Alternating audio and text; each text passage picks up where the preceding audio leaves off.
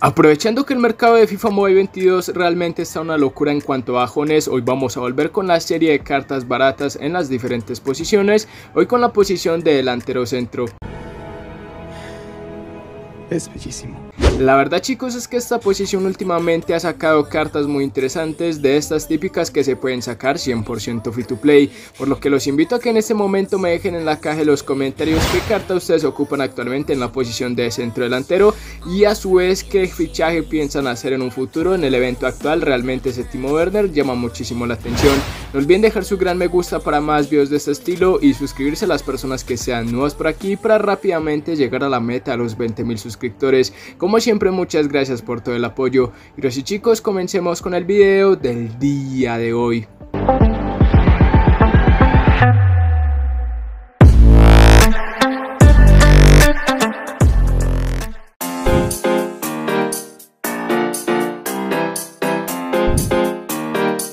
Y bueno chicos, ya estando por aquí rápidamente para comenzar con estas cartas baratas y chetadas en la posición de delantero centro. Como es costumbre, los invito a que me dejen en la caja de los comentarios una futura posición para un futuro video de esta misma serie y a su vez en este caso, qué cartas creen que me faltaron que terminen siendo de las baratas claramente. Y bueno chicos, dejando un poquito el texto de lado, podríamos comenzar con esta carta por excelencia entre las baratas y chetadas en la posición de delantero centro. Y es que no puede haber otro más que esta versión de Diogo Jota, jugadorazo del Liverpool en media 91 con un precio que es un auténtico regalito por las características que tiene que son bastante completas y a su vez porque mejorado no está nada mal ese precio de 600 mil moneditas. Con 5 de pierna mala, algo que lo hace despegarse del resto ejecutando quizás la media que podría ser una pequeña F quizás la media a comparación de lo que es el meta actual. Pero por lo demás sus estadísticas aún zafan muchísimo con 4 de filigranas, buena resistencia, 97 en sus tiros, 97 en ritmo, 88 en sus pases, 101 en agilidad y 92 en temas de físico.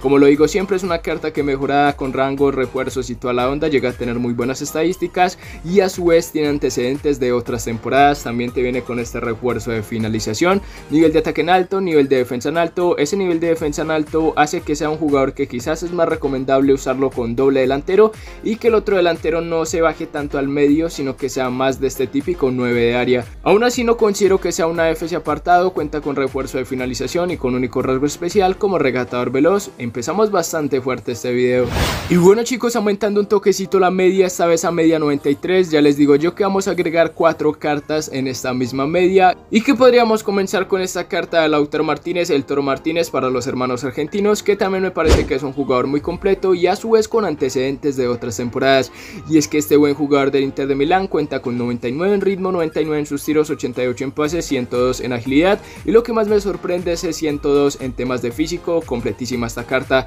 También cuenta con 4 de pierna mala, algo muy pedido por ustedes, 4 de filigranas y me gustaría que tuviera un poquito más de resistencia, pero no me parece lamentable. Un precio en muchas de las ocasiones por 2.300.000 moneditas en esta versión del evento de los TOTS, que entre lo que cabe ha bajado bastante. También cuenta con este refuerzo de finalización, que ya les digo yo que en esta posición se ocupa muchísimo y un par de rasgos especiales como estilo y cabeceador con potencia. Curiosamente chicos, las otras tres cartas terminan siendo del jugador del mes, algo bastante curioso, estas otras tres cartas en media 93, así que podríamos hacer un pequeño repaso brevemente de cada una de ellas. Podríamos comenzar con este jugador del Brentford, equipo de los ascendidos en la temporada anterior de la Liga Premier y que para ser un equipo ascendido dentro de lo que cabe no pasó tantas preocupaciones en la temporada anterior. Este jugador yo lo considero que es más un 9 de área, aún así también llega a tener estadísticas que en muchos de los apartados es completa y ya les digo yo que nuevamente viene con este refuerzo de finalización con 98 en ritmo, 97 en sus tiros, 92 en agilidad, 99 en temas de físico, un precio en muchas de las ocasiones por menos de 1.900.000 moneditas,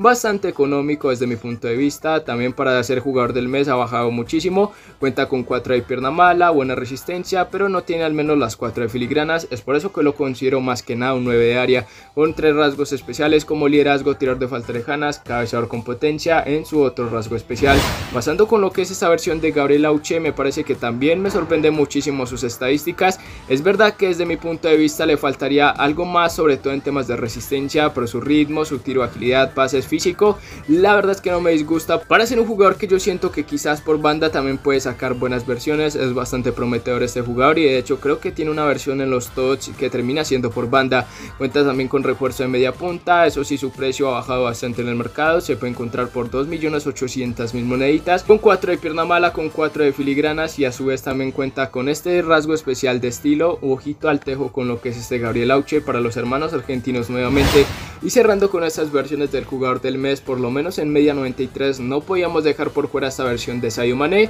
que cada vez baja mucho más su precio, recordemos que mucho tiempo estuvo por 10 millones, luego 5 y actualmente por 3 millones 400 mil moneditas, para hacer una carta que viene con buena resistencia, 4 de filigrana, 5 de pierna mala, estadísticas en ritmo, lo que es su tiro, pases, agilidad y por supuesto su físico completísimas, me parece que sigue siendo un auténtico regalito, es un jugador con antecedentes de muchas temporadas y a su vez que mejorado llega tener muy buenas características y me parece que sigue rindiendo bastante bien con refuerzo de media punta y con un par de rasgos especiales como estilo y regatador veloz. Y llegando a la parte media del video del día de hoy chicos, nuevamente vamos con muchísimas cartas, aumentando en este caso la media 94, vamos a agregar 4 jugadores y que podríamos comenzar con un par del evento pasado, en este caso búsqueda del tesoro de Camelot, que a muchos no nos terminó de convencer este evento, por lo menos en cuanto a recompensas y estadísticas, pero la verdad es que tiene jugadores interesantes que terminan vendiéndose a precios bajos, como esta versión de Daniel James y por supuesto el señor Watkins en lo que es el Aston Villa, jugadores que son de diferentes características, a mí me parece que Daniel James en banda va bastante bien, pero es un jugador que también en delantero centro es muy diferente,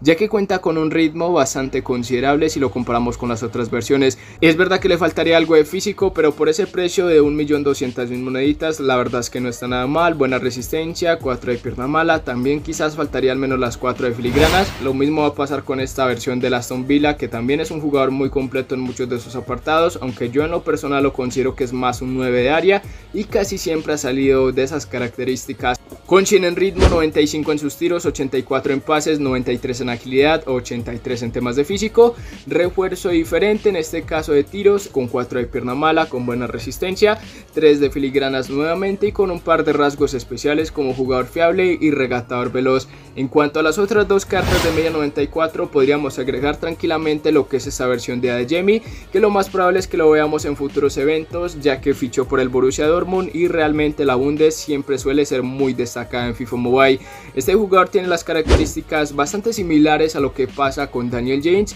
aunque nunca lo sacan por banda, la verdad casi siempre lo sacan de delantero centro, aunque por banda por características también ojito al tejo porque puede ser un muy buen jugador, cuenta con 113 en temas de ritmo y frente a las otras versiones, 98 en tiros, 86 en sus pases, 99 en agilidad, 83 en temas de físico, con buena resistencia entre lo que cabe, 3 de pierna mala, eso sería un poquito F, 4 de filigranas y con un precio en muchas de las ocasiones por menos de 1.800.000 moneditas, con refuerzo de punta y con un par de rasgos especiales como estilo y regatador veloz. Y en cuanto a la otra carta no podíamos dejar por fuera lo que es esta versión de Kenny Douglas, jugador que también es completísimo en muchos de sus apartados, con esta característica muy querida por ustedes y es en este caso que cuente con 5 de pierna mala, también con 4 de filigranas y una buena resistencia, precio de 2.700.000 moneditas en el mercado con 95 en ritmo, 101 en sus tiros, 86 en pases, 98 en agilidad y 77 en temas de físico. Lo hemos puesto a prueba en diferentes videos del canal y es una carta 100% recomendable, tanto en base como mejorado llega a tener muy buenas características con refuerzo de tiros, tal cual como lo vimos con el jugador de la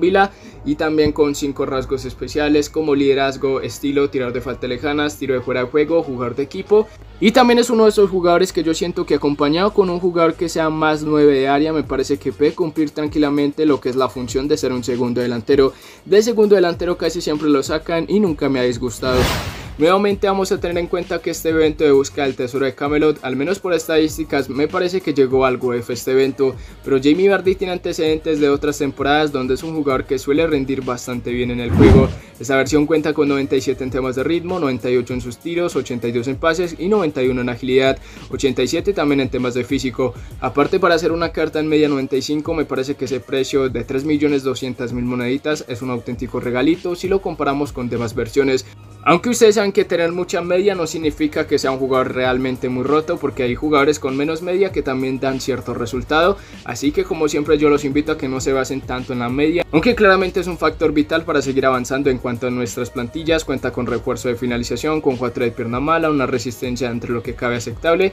con 4 de filigranas, también con un par de rasgos especiales como se lanzan entradas, jugador de equipo,